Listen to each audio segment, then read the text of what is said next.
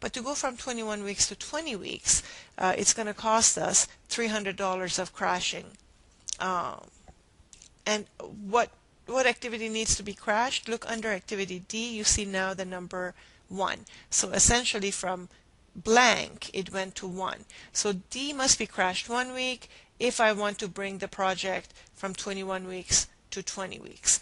Now, um, I can um,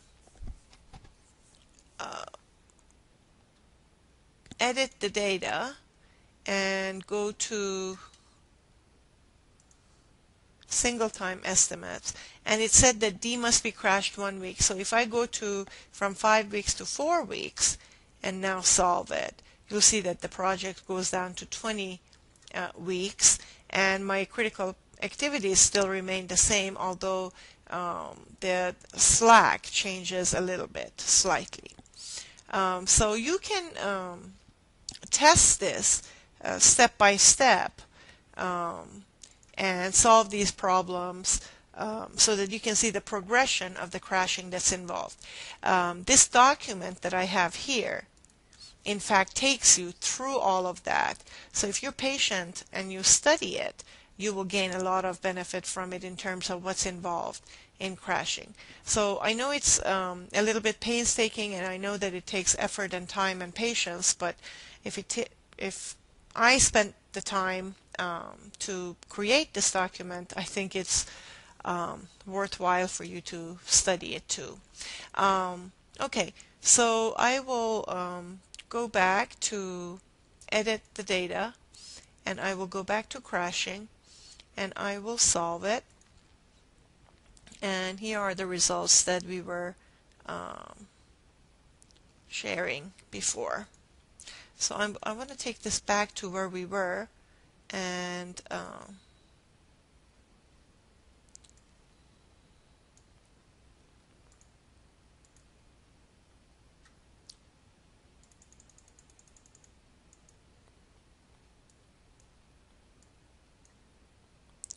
Okay. Um, so what does it take to go from 20 weeks to, to 19 weeks? Again, look, in that row, the only thing, uh, compare this row to the row above it. Compare the row for 19 and 20 uh, weeks, these two rows. Um, the only thing different between those two rows is that activity D had a 1 under it before, now it has a 2. So that means that to go from 20 weeks to 19 weeks, activity D must um, be crashed one more week. That's another $300. And where do I get that $300 from? Remember, activity D um, has a $300 cost of crashing per period. Um, so um, that brings our running sum total or our cumulative cost uh, from um, 300 to 600. So 300 plus 300 gives me 600. If you notice, this is like a cumulative um, uh, frequency distribution that you studied back in chapter 2 of the statistics book. Going from 19 to 18, um, look at the row difference between row 18 and the one above it for row 19. Um, you can see that uh, D is still the same from 2 uh, it's consistent, it doesn't change. But now activity E goes from blank to 1. So E must be crashed one week. Cost of crashing E per week is 350. So running sum total is 350 plus 600, that's 950. And you can go down the line and do all of this analysis. Now, going down from 17 to 16, please pay attention that um, the only thing different between those two rows is uh, F has a gets a 1 and G gets a 1. Uh, so that means both F and G each must be crashed one week if we are to reduce project time from 17 weeks to 16 weeks. Um, that is a period cost of 810. So going from 17 weeks to 16 weeks is going to cost us $810. Um, F and G Here's the 450 for F. Here's the 360 for G. Summation of the two is 810, and that's where the 810 comes from. But the 810 plus the cumulative cost already gives us uh, $2,426. Um, so understanding this up until now, if I were to tell you uh, that we're interested in reducing project time from 21 weeks to 16 weeks, what do you recommend to do? You should say that we should crash B one week, D two weeks, E, F, and G each one week, and all of that is going to cost us a total of $2,426 and some change. Um, but the overall cost of the project is going to be that number, which is the cost of crashing up to that point, plus the 18,700 normal cost. That would be the total cost of project uh, to finish it in 16 weeks. Now, if I were to tell you what does it take um, to go from 16 weeks to 15 weeks, let's say that we've already crashed the project down to 16 weeks, and now we want to crash it yet another week to go to 15 weeks for the total project time. Your answer should be that E must be crashed one week. I'm sorry, not E. F must be crashed one week, and G must be crashed one week. Um, that's another $810, uh, which means uh, 300 and, uh, 450 for F and 360 for G. What if I tell you um, we have crashed the project um, down to 14 weeks and now we want to go down to 13 weeks? Uh, what does it take? You should say a must be crashed one week, going from blank to 1, and B must be crashed one week, going from 1 to 2. So to go from 14 to 13 weeks of project time, uh, just one week reduction in project time requires two weeks of activity crashing.